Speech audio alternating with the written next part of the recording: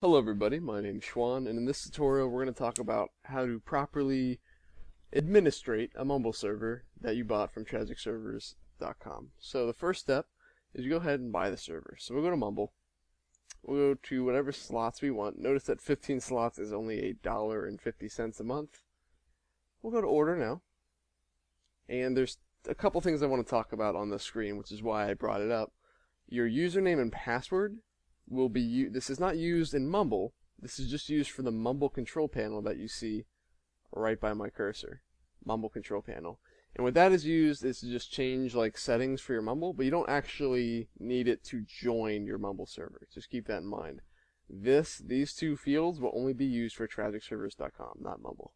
Now your super user password needs to be something that you'll use to initially set up your server and will you'll use inside the program Mumble but not on tragicservers.com. And that's basically, and if you want a server password, you can add it here. If you want a server password later, you can add it from the control panel. And that's all I wanted to talk about on this screen. And the next thing I want to talk about is the email you get. So, you will get an email that looks something like this from Tragic Servers. And it'll tell you the details for your server and the details for your Mumble control panel. I don't have the details for the Mumble control panel because I didn't actually buy this server. Uh, Tragic just gave it to me for this tutorial. But you'll have more information in this email, don't worry. Now the first thing to do is go to Mumble, and then go to Server, Connect, and make sure public internet is minimized. Make sure the arrow is pointing towards it, and then the arrow is pointing down for favorites. That way, you can um, only see the servers that you add instead of like random public servers constantly, which is real annoying. So if you go to Add New, a screen will pop up that looks something like this. Um, I've already done this, and it looks like this. Now, the label can be anything you want. Every user can have a different label. Doesn't matter. It can be whatever you want. Um, the second label, address, is this part of um, the IP and port. Okay, just that part. And then port is 64738 is this part of the URL that he put in the email. Now, the super user password we'll go into a little bit later, but You'll see we have the address filled out, the port filled out, and the username. It can be whatever we want, whatever we're going to use when we connect to this server normally. So, and press OK, and we'll double click on the server. Now, my name's Schwan, and my, my friend Milo is in here. But however, what I'm gonna, the first thing I want to do, and I hope you guys are following this in order, is you connect as the name that you want. Right click on yourself, register, press yes. You'll see an icon appear over on this side and that just tells you that your name is reserved on the server. No one else can come in here and pretend to be Schwan because my name's already taken. They would have to be Schwan1 or something else that isn't exactly what mine is. And that's going to come in handy when we're going to add people as administrators. So we'll go ahead and disconnect from the server now. And this time, we're going to press edit. You can just do that by right clicking on any of the servers, pressing edit. And you can, in, instead of logging in as Schwan, I'm going to log in as super user and once I do that, a password field pops up. And then this is the super user password. And you'll get that in your email right here. So mine is Tragic Servers. See, super user password. So go back to Mumble. And now remember, super user is spelled with a capital S and a capital U, and it's one word. Also, there can't be any spaces after address or port. That's that's something that a lot of people messed up. If you copy and paste wrong, for example. So if there's a space in the address like this. It doesn't look like there is, but if you look, there actually is a space here, and then it won't work. So make sure there's no space. See? Calm. No space. Just a tip in general. Now we're going to connect to super user, so we'll click here.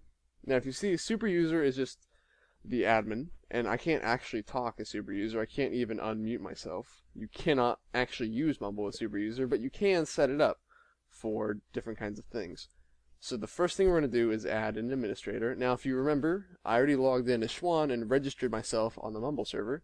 So now if I right click on root, okay, I press edit, then I click on the groups tab, go to admin, I can add members. Now, I'm just going to type in Schwan, and what you're going to see when I press add is it's going to be italicized and then it's going to go to regular font. And I'll talk about that in a second. Just make sure you see it. It was real quick. You might have saw it though. And what it was, but if this name was italicized, that means you did it wrong. If it's italicized, it means that the user you added wasn't a registered name and it won't work. So make sure before you add people to the admin group that they are registered on Mumble and that you spell their name right. Now, moving on, we press OK. Now we probably don't ever have to log in as super user ever again. Um, you might have to, so remember, make sure you keep the password somewhere, but it's unlikely. So we'll go to edit, then we'll just log in as Schwan again, only this time we'll be an admin. We'll go and delete the password field, press OK, click on Tragic Servers, and as you see, I still have that registered icon because I'm a registered user. And if I go to server and registered users, if I'm an admin, I have access to this, and you'll see the, a list of the people who are registered on your server. So if you were adding an admin and didn't know how to spell their name or how they spelled it Mumble, you could pull up server registered users. Now there's also an important thing to note here. There's something called Mumble certificates. I will not get into it in detail, but let's say that someone who was registered as um, Mile, for example, let's say Mile is registered, but then he reinstalls Windows or he gets a new computer or something happens and he doesn't back up his like Mumble certificate and he joins your server, he won't be able to join under the name Mile because it's registered and doesn't realize that he's a real Mile. So if a situation like that comes up where someone wants the name Mile but it's taken, you can just go to registered registered users and remove that name and then the user can connect and you can re-register them. So I hope that makes sense, but that's just a general tip for registered users and that happens a little bit. But now that I have admin, I can right click on root and I can press edit and I can add other admins. So I can go to admin group, which is a group I'm editing, and I could make Mile an admin. However, if you realize from what happened before, CO Mile isn't registered and he didn't appear on the server registered users list, I can't actually make him an admin. So I'm, so I'm going to do that right now. I'm going to go ahead and register him. Um, I actually can't register him. Maybe that is not a feature I can use currently. Uh, normally, I, I would try it on your own. If you can right click on someone and press register, you can normally register other people. It's kind of a weird feature. Maybe it's turned off in this current server version. But just make make sure you tell them they need to right click on themselves and then press register, which I've already done. So, um, the next thing I want to talk about is adding channels. So we'll just right click on root, press add, and then type in channel 1. And that makes a new channel. Now you can make sub-channels. So if I added another channel called channel 2, this one won't actually be a sub-channel. Well, it will, just sub-channel of root. So see channel 1 and channel 2. Now, if I wanted to, if I wanted to edit this, I could right-click on it. I could press edit, and I could make this, oops, TF2. Alright, so once I made it TF2, now you see how it's changed positions with channel 2? Well, I want TF2 to be on the top because TF2 is important in a great game. So let's go ahead and press edit, and you'll see that its position is 0. And the channel 2's position is also 0. Every channel you add is 0, so it'll be based off of alphabetically. It'll be alphabetically ordered if you don't change the position. So let's go ahead and change this. And by the way, in programming and general computer stuff, you start counting at 0, not 1. So zero, one would be the next one, and you'll see that TF2 jumps up to the top because now its position is 0, and the second channel's position is 1. Alright, so that's just how you order channels. And here's how you make a sub-channel. You just make sure you're selecting the channel that you want to make a sub one, press add, type in red, and then you have this arrow here, just like on the server browser list, and you can see the sub-channels that are associated with TF2. So if we clicked on red, we could add another channel that said whatever. Okay. Oh, invalid channel name. Alright, we'll just do we'll do red 2. Now see red has a subchannel. Um, I would suggest you don't get too crazy with subchannels, but you know, the feature is there. Um, so we got TF2, we got red. Let's go ahead and make a blue. Alright, now, oh, remember, here's how you edit channels. Edit, take out the E, because that's not how TF2 rolls and we got red and blue. Now remember, if we wanted red on the top, we could change blue to 1. And they would switch places, because it would be go from 0 to 1. So once you have these sub-channels, you can join them, of course. Now, if, let's say, you had people in the red channel and people in the blue channel, and if everyone wanted to talk to each other, for instance, let's say if the game was over, you have a couple options. They could all move channels, or since you're an admin, you can move them into whatever channel by clicking on their name and dragging it into whatever channel you want to move them to, and you can move them all to one channel. Or if I wanted to talk to everyone in the blue channel, but I didn't want to ha- take the time to move them, I could just right click on blue and press link, and you'll see that the antenna's color changes, the tip changed. So now these channels are linked together temporarily or permanently. They're linked together, and we can hear we can talk to each other even though we're in different channels. And then when I want that to, when I want that to end, I can right click on blue again and press unlink, and then it's normal channels again. I can't hear this channel. So that's another feature of channels. Um, the next thing we're going to talk about is we're going to do how to ban someone. So banning someone's relatively easy. You just right click on their username and you press ban. You can also kick them, you can mute them, and when you mute them, you'll see that it's a blue icon. And when you mute yourself, for example, it's a red icon. So you know if they're muted by a server, no one can hear them. That's a blue icon. That's server stuff. So go ahead and unmute them by right clicking on them again and taking off the check mark.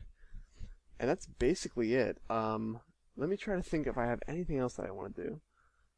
Uh, let's see, banning someone, user admin.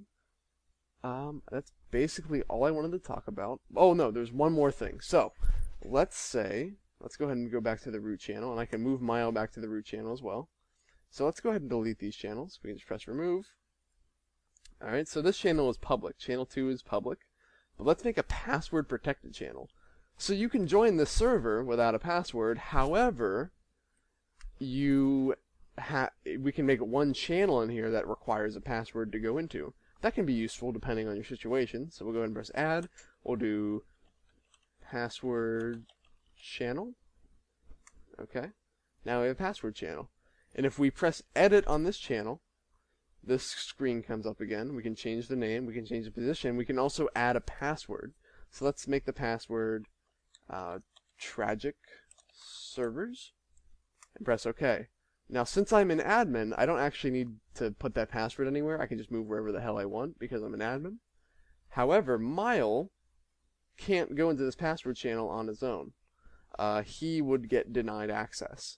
Now, what Mile would need to do, and anyone else that wants access to this password channel, is go to Server, Access Tokens, Add, and then type Tragic Servers. And that's it, and then press OK. Now they've added that access token, and you can view all the access tokens you've added for the current server you're in by just going to Server, Access Tokens. And with that access token added, he can join the password that corresponds with that access token. Just like that. Um, so that's another way to do it. And the last thing I want to show would be the, I showed you the registered user list. Okay. Now we're going to talk about banning people. So we'll go ahead and we'll do a, we can also deafen, so they can't hear and they can't talk.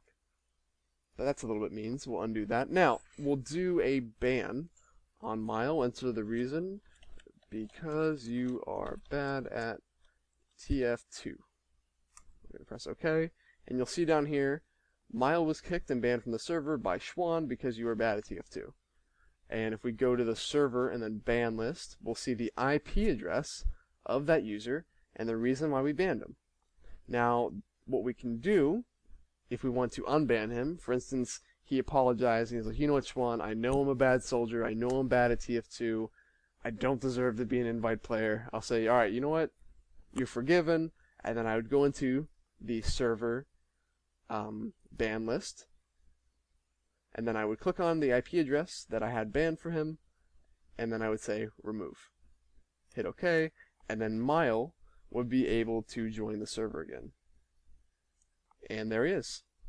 So that's it. That's the end of this Mumble tutorial. I went through how to create a channel, a sub channel, how to order a channel, how to put a password on a channel, how to link a channel, and much a bunch of other stuff. And that's basically it. If you have any other questions, you can submit a ticket on tragicservers.com. And but I hope you won't have to because I've covered a lot of information in this video. And enjoy your Mumble usage.